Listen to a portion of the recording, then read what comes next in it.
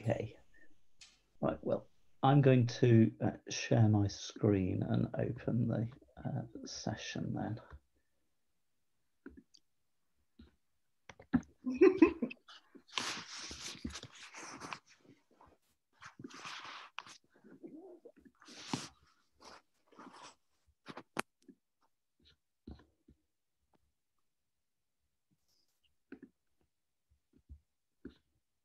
Right, can you see my uh, my screen okay? Yes, perfect. Presenter Mm -hmm. mode, right.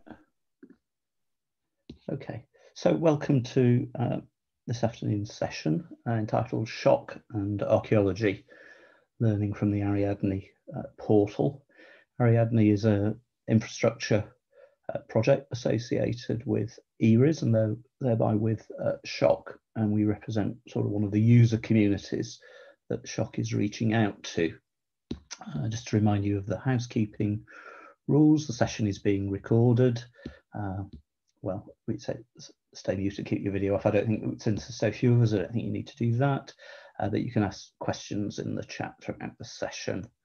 Um, so we just have got two papers. First of all, my colleague Holly Wright, who's ADS International Projects uh, Manager, will introduce the Ariadne uh, project and uh, particularly talk a little bit about the community building work and the user needs work we've done in Ariadne.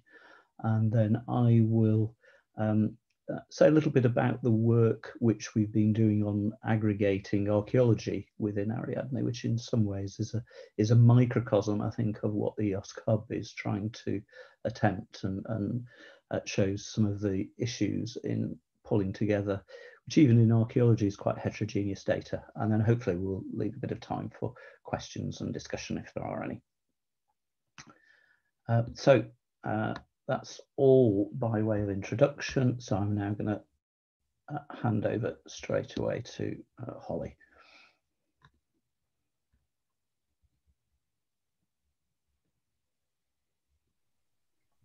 Right.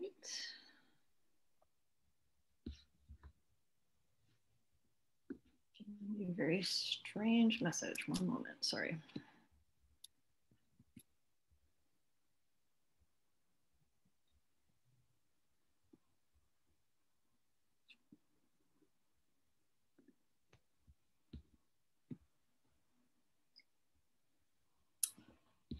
Are you able to see my screen? Yes. Is that full screen? Uh, not yet. You're not seeing it full screen? Not, not no. seeing it in presenter mode, no.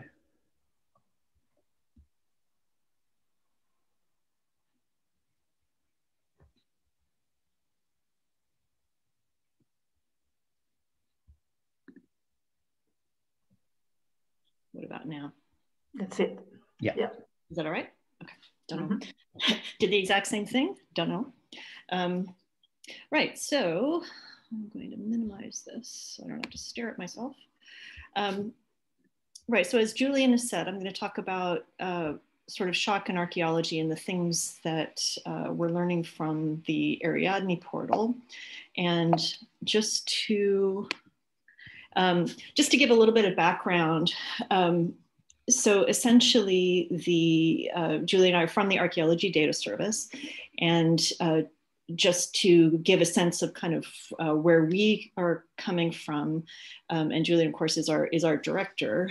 Um, the Archaeology Data Service, we we were set up in 1996, and I'm stealing Julian's anecdote that that is two years before Google for, um, for perspective of how long we've been around. Uh, we are based uh, in the Department of Archaeology at the University of York in the UK, and we are a domain specific archive, and we've recently acquired the CoreTrustSeal, which we're really, really excited about. Um, our mission is uh, supporting research, learning, and teaching with free, high quality, and dependable digital resources. And as an OAIS compliant digital archive, obviously we do that through preservation, but we also, um, and uh, we also make everything freely and openly available online, uh, but we also act as an aggregator for the UK for many other, uh, actually larger and smaller organizations to aggregate their archaeological data. And then we also feed that data uh, into even larger aggregators, which I'll talk about in a minute. Uh, we also provide guidance and support for the data creators, so uh, for the archaeologists doing the research uh, in the forms of our guides to good practice. Um, but we also participate in research. So we are partners, uh, and in this role, we are one of the partners in SSHOC uh, representing uh, archaeological data, um, but we are also um, the deputy coordinators for Ariadne and Ariadne Plus. So uh, Julian gave you a little bit of information about what Ariadne is, but just to further reiterate, um, we are now in the second phase of Ariadne, which is Ariadne Plus. Uh, the first phase um, was an FP7 infrastructures project uh, where we had uh, 17 partners representing 13 countries. And in that instance, it was fairly divided, fairly evenly divided between uh, the archaeologists, the data providers, and the uh, technical uh, partners to create um, to create the infrastructure. Um, it was 17 work packages, and there were quite a few uh, just research-based work, work packages, but the primary deliverable was the uh, collection level metadata aggregation portal or the Ariadne portal. Um, the coordinators are, uh, as long, in addition to us being the deputy coordinators, but the coordinators are um, PIN at uh, the University of Florence at Prato. So currently we are about halfway through the second phase, uh, which we're calling Area Ariadne Plus. Um, this time it's 41 partners representing 27 countries. Uh, and this time it's much more um, archeological partners, much more trying to expand our work with the data providers. Um, and part of that was uh, because we were able to very much build on uh, what Ariadne created in terms of the technical infrastructure that was found to be uh, sufficiently sound that we were able to, to continue on and expand that. Um, but it also expend, uh, extends Ariadne in a couple of different uh, directions. So for example, uh, we're much more interested in heritage science data, uh, trying to incorporate that into uh, archeological data. Um, and the data types that that represents, uh, but we are also um, uh, we've also completely changed the backend. So this time uh, Ariadne is entirely built on uh, linked data, which was not the case in the first iteration. Um, and uh, we're trying to focus on a variety of innovative ser services and also trying to make sure that we very much embed uh, Ariadne within the EOSC. So just so you can see kind of the geographic coverage in the first, uh, first phase of Ariadne, um, we had quite good coverage across Europe, but you can see in the second phase now we have, we have really quite strong coverage across most of Europe. Uh, we also have three extra European partners uh, in the US, Japan, and Argentina. And the way Ariadne has been structured is using these sort of four points all working together. Um, I'm going to talk a little bit about kind of the networking aspects of the research and innovation. Julian's going to talk more about the technology uh, and how it relates to research and innovation uh, in just a moment. Uh, but just to, to give a little bit of background, um, in terms of networking, uh, we've been working really hard to extend and support the, our, the Ariadne uh, community. And we very much are a community and I, I we've, we've certainly suffered from not being able to see each other in person and work together in person. Um, but we have managed to continue on um, and, and meet our project deadlines despite COVID, uh, but very much looking forward to when our community can come together uh, again properly. Um, we are working as a community to establish uh, policies and good practice for data, uh, for our data, including uh, making sure that the FAIR principles are, are core to that. Um, integrating archaeological uh, data sets. Um, Julian is going to talk much more about this, but the idea here is that we're, we're doing this um, communally together to develop our data models, um, develop our standards and documentation, um, and then extending the data infrastructure uh, with all of the things that that requires data cleaning things like that uh, but once again making sure that we stay aligned with uh, with the EOSC services Um, in terms of technology, very much uh, the same thing, focusing on it, basically creating an Ariadne cloud um, for the infrastructure and portal. Um, in the first phase of Ariadne, uh, we worked very much at the collection level. We had a couple of case studies where we worked at the item level for data integration, but this time we're very much trying to do that more, allowing federated queries uh, across uh, item level data to really open up what some of these collections hold. Um, the uh, in terms of just managing it, as I said before, um, it's all linked data this time around, but we're also uh, deploying uh, various VREs. And in fact, the entire Ariadne project, um, our community, we have a, a, VRE on D4Science where we use that as our communication platform and that works very well. Um, in terms of the uh, creating our knowledge management systems, uh, we're all working as a community to do to do that together, and then uh, a variety of, of uh, new services that we're trying to put in, which I'll talk about more uh, in a minute, as well as uh, different innovative work on innovative methods and a couple of new pilots, which again I'll talk more about in a minute. I'm not going to talk uh, very much about innovation and impact, apart from saying that we have done some really deep work in this area, um, including the Ariadne Plus innovation strategy, which is um, trying to ensure that we Ariadne has the impact that we want and, and that is sustainable impact. Um, here is the URL if you would like to have a look at any of the reports, uh, deliverable reports that we've created. As I say, these are very, very long, very deep um, uh, looks at things like innovation strategy, and they are all uh, publicly available. So you're very welcome to go to the Ariadne website and, and download those. So now I'm going to talk just a little bit about the work that we've been doing around surveys and community needs. Um, essentially, the uh, we well we were able to do a really in-depth uh, user needs survey in the first phase of Ariadne. So this would have been in 2013, and we've just been able to do it again uh, last about this time last year for 2019. And uh, what's great about this is that means we can start looking at things in ways that are comparable and start seeing trends across uh, the archaeological data community. Um, so essentially, we've been looking at uh, attitudes towards data sharing, access, and reuse, what people want, um, what people don't want, what kind of training they feel that they need. And you can see on the right, there are a couple of uh, different uh, pie charts to show you kind of what sort of um, domains we've been uh, hearing from. Um, we were very careful to actually separate out and have two different types of surveys. So one is for archaeological researchers, for the people who are the data creators as well as the data users, and then separately talking to data managers and providers. And in some instances that actually meant uh, individual interviews. Um, this time around, we had four, 484 usable uh, questionnaires that came back to us. Um, and these, this is international. This is from absolutely uh, around the world. So um, we feel fairly confident that we've got a quite a good sample. Um, and, and as I said, it's been really nice that we've been able to compare uh, 2013 with 2019. And I'm going to talk a little bit about the things that we learned in 2019 primarily.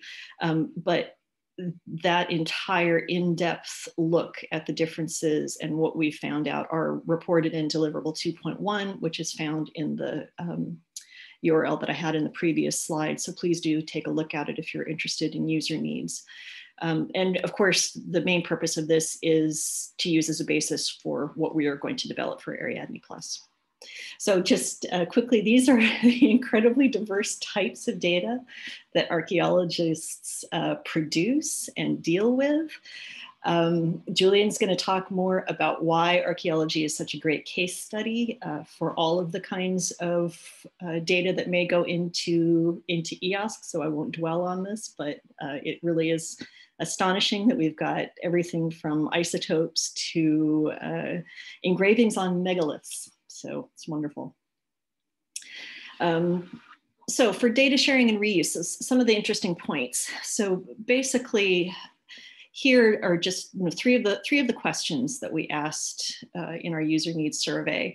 Um, the first one is really interesting because in comparison to 20 to 2013, 65% up from 50% say that they are now sharing uh, from some or all some or all of their project data in some kind of uh, accessible repository. So that is really good. That is really positive. Um, but unfortunately, what that means is it's almost certainly going to be a synthetic fieldwork report, um, not the underlying data itself. And actually, we've still got quite a bit of, of work to do, but, but generally positive.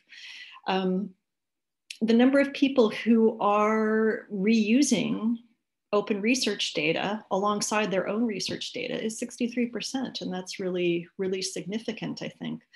Uh, and, and just in terms of perception, the increase over the last five years of people realizing, okay, sharing our data is something that we really need to do, um, that, I mean, that perceived increase was 83.2% felt that that was an important thing. So we are really starting to get the message across, which is great. So this is this is really interesting. Um, a lot of it is exactly what you would expect in terms of what people said were the barriers to deposit uh, their to depositing their research data in a digital repository. Um, interestingly, even though it's still 62 uh, 60 59 percent, sorry. Um, because usually the answer is sort of it's about money and, and at 59% it's obviously not about entirely about money um, when we look at what is the biggest barrier at 75.5%, a lack of professional recognition and reward for open data sharing. So we really, what this has told us is that we really have a lot of systemic work that we need to do if we're going to make progress in any of these areas in terms of actually practically um, coming up with incentives for people to make their data open. Uh, that's that's going to be a whole professional shift that we're going to have to work on, and it is the biggest barrier, which is fascinating. Uh, also, um, one thing that was really heartening is that in terms of training needs, uh, the top training need that that was uh, that came out of the uh, survey was that uh, people want to be able to apply fair data principles to their data, which means that they know what fair data principles are and that they uh, realize that they are something that is important. So I won't, I won't dwell on that anymore, apart from saying that that also is a really hopeful, uh, hopeful information. So finally, in terms of uh, the services for researchers and data managers, um, basically what we also tried to do is figure out what, what do people actually want from Ariadne Plus in, in terms of the portal, in terms of services, and what kind of what the priorities were and in terms of what we could actually do. And what was good is that we had we got confirmation that the direction that we had gone in Ariadne was the right direction and that there was appreciation for the services as they existed. Um, here is a list of the newer enhanced services that people said that they really wanted. Um, unfortunately, vocabulary and alignment and mapping, which Julian's going to talk talk more about, didn't get as much love. I think it's it's quite hard work, but it's very important. Um, but I will end on this slide, which I think is absolutely fascinating. So in green, we've got all of the existing services that were created as part of Ariadne, uh, which it, fantastic that they are still at the top. They are still the things that people say that say that were the most important. So new or enhanced are things that are already in being worked on as part of Ariadne Plus. So these things are basically in train now. So great to see such high ratings for the things that we are already working on. But what I'm fascinated by is the blue. So the potential future items that have come up on this list where uh, which are post a picture of an object and get suggestions for similar ones, Pro process many documents using NLP, natural language processing, to find these on certain topics or specific information they may contain. So what this is saying to me is for Ariadne plus plus or wherever Ariadne goes after this, uh, we're hearing loud and clear that what people want is more uh, AI and machine learning and, and things like that, which really surprised me, um, but is very interesting. Um, so anyway, I'll leave it there and hand it over to Julian so he can talk to you about uh, aggregation. Thanks. Okay, thanks, Holly, very much. I'll just share my screen now.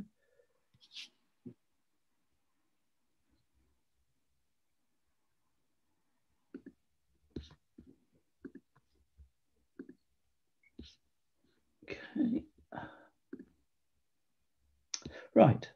Um, yeah, so um, Holly has nicely sort of the background of the user needs which have really driven the development of data aggregation within uh, Ariadne, and I'm going to say a little bit more about how we've gone about that. So I think it does provide a nice sort of case study really for, for SSHOC and for EOSC of um, a specific community. Uh, and the reason why archaeology is, I think, a good case study is some of the opportunities that it provides. Um, firstly, that uh, the discipline has been from the outset an early adopter of IT. I started out using punch cards in, in fact, and uh, we've gone through every storage device since then. Um, but also it's uh, cross-sectoral. It's the research done in archaeology is not confined to the academic sector. A lot of the actual field work is done either according to which country you're in by governmental organisations or commercial organisations. So we have to work uh, across multiple sectors. As Holly already uh, showed with that brilliant word cloud uh, slide, we've got a, a rich variety of data types. But comparatively, we do have relatively well developed ontologies and data standards. So, so relatively, that's maybe they're well developed for the arts and humanities. Uh, but in some countries in particular, there's been a lot of investment gone up over the years into development of the controlled uh, vocabularies. And as will already be obvious, my sort of fifth point there is that archaeology is a very interdisciplinary subject by uh, definition and really reaches across the social sciences in some aspects, the, the, the physical and chemical, biological sciences, uh, but often with arts and humanities goals. So it sort of has to be interoperable across a very broad range of disciplines by definition. Um, but so those are opportunities, but there are lots of challenges as well. Um, and one of the goals of Ariadne has been to try and make data more accessible uh, because it's a very mixed picture uh, across uh, Europe.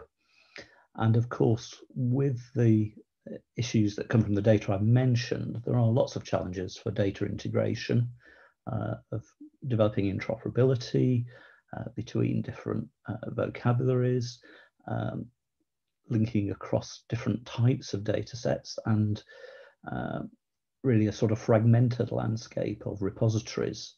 Um, and particularly is in effect the sort of haves and have nots. So some countries where repositories have become relatively well established, and for others where they've really only just realised that the lack of a repository is is indeed a problem, and that they need to uh, invest in that. But a lot of why we want to do this, a lot of it comes down to the fact that a lot of archaeological research questions require you to search across borders and require you to search across multiple data sets and, and repositories. If uh, you're interested in whether it's the Bronze Age or the Viking Age, as I happen to, to be, you can't just research it using uh, very adequately anyway for using resources from just one uh, country and modern political boundaries make little uh, sense if you're um, mapping the progress of, of, of, different burial rites for example or settlement forms uh, across Europe. So uh, Ariadne, in response to the user needs, has uh, since the outset been trying to join up some of these fragmentary resources, and the and the primary visible way we do that is through the uh, the Ariadne uh, portal. Um, but uh, alongside those those aims, then there's there's an underlying one of, of capacity and community building in the in the sector uh, to try and address this issue of haves and, and have-nots. Um, but then uh, to enable researchers to find data in the first place, to enable cross-border, cross-institution resource discovery. Uh, but then having done that, to enable interoperability across partners, countries, data types, data schemas. And it's that really that will uh, enable us to do um, uh, more research, different types of research and, and better research. It's always a good idea to uh, decide at the outset how we will know whether we've succeeded or, or not. Some of these measures are inevitably purely quantitative. The, the, number of records that we have in the Ariadne catalogue, we're now approaching 1.5 million. I anticipate we'll be well over 5 million before we reach the end of the current phase. Uh, the number of countries represented, which I've already mentioned. But obviously more important is the qualitative measures that we get good, meaningful search results. And particularly in Ariadne Plus, this goes down much more to level of granularity to enable uh, interoperability, not just at collection level, but at item level. So we're looking at uh, interoperability, for example, across individual artifacts, not just at sites, um, individual dates, not just uh, databases of dates, individual graves, not just cemeteries. Um, and particularly uh, we're expanding, particularly in the sort of heritage science area, in, which is involving integrating a lot of new data types. So overall, the, the key uh, success measure will have to be the quantity and quality of reuse, the R of the FAIR principles, uh, both bringing new users and new forms of research. Okay, so uh, how are we going about it? Well, the two main interfaces to this uh, this cloud of linked open data. Um, the portal, uh, underpinned by the, the catalog. And this works by harvesting um, initially collection level metadata, uh, but also increasing in our item level data and the ontologies that link them together uh, with links to the actual primary resources in the distributed repositories across the world. Um, so the underlying principle is that we don't try and bring all the data together. We just make it uh, findable by bringing the metadata uh, together. Uh, and the data is looked after uh, where it is best looked after by the, the under the national uh, regimes of the, the countries or regions where it's held. Over the years, we've developed the idea that really the combination of of what, when, where questions is a relative, is a very powerful tool that allows you to uh, meet a large number of archaeological uh, research questions. Uh, so, what was found in a particular place, what, when it dates to what period it is, and, and where uh, in geospatial coordinates it was found. And one of the things we're working on, particularly at the moment, in response to one of the user needs issues, is enhanced map-based searching and enhanced queries specific to, to certain data types. So that's the human interface, but also we are using the linked data, uh, developing APIs for machine-based interfaces, uh, which will just mirror what's uh, the data that's in the catalogue, and will also allow other organisations to implement their own portal or service, drawing on aspects of the um, Ariadne infrastructure. So as we mentioned, that's that's uh, the aim. That's the uh, what we want to do. The, the challenges are I mentioned the heterogeneity of the of the data. We're dealing with sites, with reports, with fines, with data sets, and now increasingly a wider range of, of data types and, and more domains. Uh, on top of that, there's there's been no sort of top-down standard imposed since the beginning of archaeology. These are, although the standards are relatively well developed, they tend to be national uh, ones or even regional ones. Uh, and of course, to do international research, we also have to address this, this challenge of multilingualism. So the solutions to that, well, first of all, we need to make sure we are meeting the user needs, and Holly's already spoken extensively about that. Uh, but we've also taken a pragmatic approach to data availability and uh, focused initially on what I'd call the low hanging fruit. Data types where we have a critical mass of item level data across multiple data providing partners. So they can, at an early stage, see the benefit of um, bringing things together, uh, things like uh, site reports, uh, information about sites and, and finds. And we call these sort of various Ariadne subjects or sort of basic uh, semantic categories. But underpinning this is a long established ontology of sort of data model, which I'm sure many will be familiar with, the, the CIDOC CRM, which provides an object-oriented data structure and shows how these different data types and different semantic categories are interrelated. And then we tackle the, the what, the when and the where by uh, three different solutions. Uh, for the what, we found that the most of the individual uh, subject vocabularies uh, that are employed in the different countries can all be mapped to the Getty Art and Architecture thesaurus, which goes down to a, a very granular uh, level. of course, we're often mapping concepts rather than specific words, but it seems to work pretty well. Um, and every partner that supplies data to Ariadne, when they use a subject term drawn from their own vocabularies, they have to say what it maps to in the Getty AAT.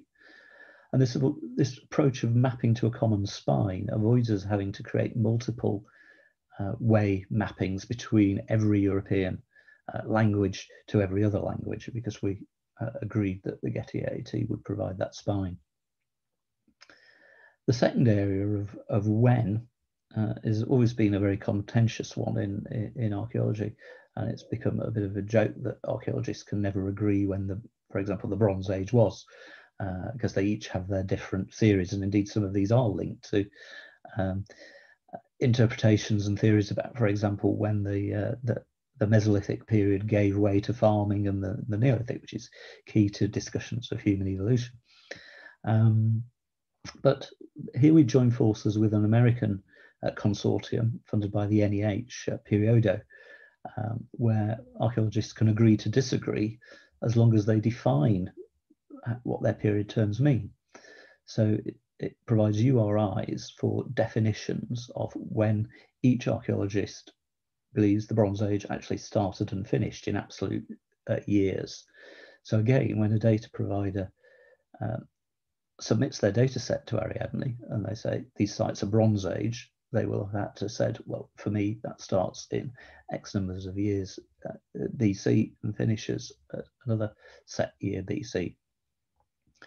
The spatial side is probably the easiest one. Here we, we adopt latitude, longitude, conforming to the WGS 84 standard. So again, those providing data have to say uh, where their resources are located. And then as we move on to much more item level work, uh, we are developing a series of application profiles, which are effectively subsets of the CIDOC CRM uh, that meet the research needs of particular subdomains, such as, for example, random paleoanthropology or ancient DNA, um, environmental archaeology, remote sensing, and, and so forth. So I'll just um, uh, illustrate what this looks like in the, in the uh, existing uh, portal, which is, is now being redeveloped and enhanced, but retains the same uh, uh, where, when, and what structure. And you can see those sort of three options along the bottom there, but also a, a Google-like type and hope search in the in the box at the at the top, uh, which as you start typing in, uh, gives intelligent suggestion of what you might be interested in, drawn from the, the Getty terms. And we're extending that, that now with multilingual terms, so you choose which language you're, you're working in. Uh, but for example, I started to uh, type out brooch and it's come up with some suggestions of what I might be interested in. Uh, and I selected ring brooches. And in this case, it's come up with a number of uh, results, uh, which on the face of it might not look particularly relevant for ring brooches, but if I drill down into one of those resources, here you'll see a particular information about a particular excavation report on some uh, field work done at RAF Lake, Lakenheath, and there you can see in the, the, the metadata, uh, ring brooches is one of the terms that's been identified as something that was found on that uh, site. And these, these terms may be derived from natural language processing or from uh, human supplied uh, metadata and cataloging and indexing of the, of the report. But we can uh, click on the sorry, click on the that I link there if we want to know what what we mean by a ring brooch. Um, and there it takes us to the Getty AAT ID and where it's been translated into other languages, you'll see the different terms uh, uh, that are used there. And we, or rather our partners in University of South Wales have developed a vocabulary matching tool. This session meant to be about tools. This is a particularly useful tool, um, which shows how partners can map their own source vocabulary on the left here, drawn in this case from the UK fish, archaeological objects thesaurus, and map the term to the appropriate term in the in the Getty vocabulary. So this makes it a relatively easy process for partners to uh, do their vocabulary map mapping. Um, so that was what. Where is, as I say, in a sense, uh, easier. We provide a, a, a, heat map which allows us to search across uh, borders to bring together collections from different countries. Uh, so here, uh, drilling down, and I actually drilled down to uh, part of uh, of Northern Ireland, um, but it's pulling together some resources drawn inevitably from the ADS, uh, but also interestingly resources from our partner in the Netherlands, DANS, who hold uh, information about scientific, in particular dendrochronology dates, which will be, in this case, I imagine, for Irish bog oaks. So it's allowing researchers to pull together information about sites with dating evidence. And then finally, the, uh, the when uh, search. Uh, and again, this is represented graphically by a, a, a, chart showing, and this basically shows where in terms of all the 1.5 million records, where the concentrations are in terms of dating of sites. So it's an interesting research tool in its own right. Um, but as well as searching in absolute years, we also allow searching by uh, subject terms because it's an important distinction because, and there's a reason why archaeologists don't uh, agree when the Bronze Age is because of course the Bronze Age does have different dates in different countries. It's a cultural stage of cultural evolution and the Bronze Age in, in England isn't the same to that in Scotland or indeed in France or in Germany. Um, so, but you might be interested in what was going on in different parts of, of Europe during the Bronze Age. So this would allow us uh, to uh, search across a particular uh, period term and pull all those things together. Uh, and uh, this is the, the Periodo site that supports the searching in absolute uh, years.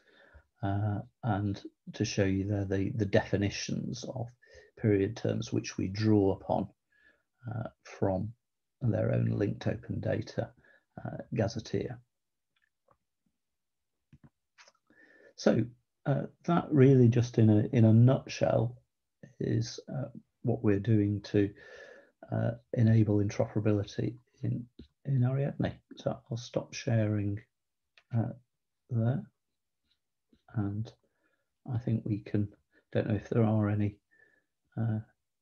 comments that have been added. Wolfgang's hopefully um, added some links, and he says, could you say a bit more about uh, D4Science as, as, a VRE?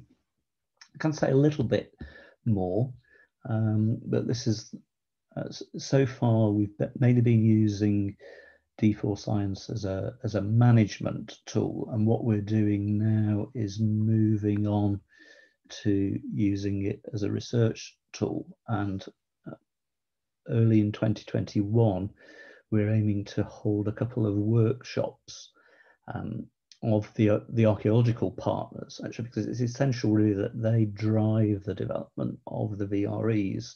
Uh, we can get the technical partners in CNR to um, talk about what the VREs are capable of uh, and show some of the tools. So, for example, there are uh, GIS tools that have already been deployed in the VRE. Uh, but we're going to be holding these workshops to see well what research questions would archaeologists want to uh, implement in a VRE. So the idea is that people would navigate from the portal having discovered some uh, data sets drawn from multiple partners they were interested in. Uh, they would be able to uh, download them into their own research space in the VRE and then deploy tools um, that exist in the VRE that they've co-designed uh, to interrogate those uh, data sets, which could involve some uh, mapping or 3D uh, visualization if the data supports that, um, so on. So does that uh, uh, help a little bit? It's a bit early days, really. Yeah, thank you. No.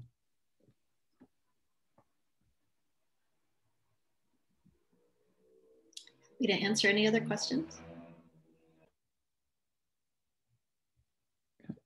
I think we've got four minutes left. If anyone uh, right. answer the API question? Yeah, please go ahead. Yeah.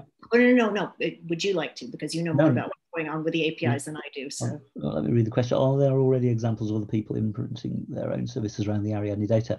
Uh, there are, in the sense that the um, developers, current developers of the Ariadne portal, uh, SND, uh, are uh, in a sense, they are testing some of the uh, the Ariadne portal uh, development with their own catalog. So there will be a great similarity for Swedish users between going to the SND portal and going to the uh, the Ariadne uh, portal. we're also looking at it. I should say that we've made no decision yet from an ADS perspective for using it for our catalog um, so I think there are some advantages in, in providing archaeological users wherever they're from with a, a sort of similar sort of interface and building on the work that indeed started out in the, the DAI in, in Germany with Wolfgang's colleagues and then has been built on by SND. It is a, I think, quite a powerful tool which uh, a lot of users have, have found both quite easy, uh, but also um, uh, quite intuitive and, and easy to get fast results. Uh, thanks for that, that question.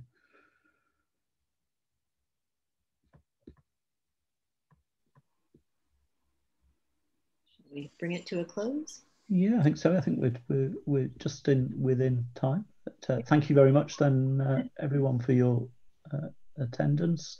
Uh, thank you, Anna, for facilitating uh, this, and enjoy the rest of the uh, of the meeting. Bye, everyone. Thank you both. Bye. Bye. Bye.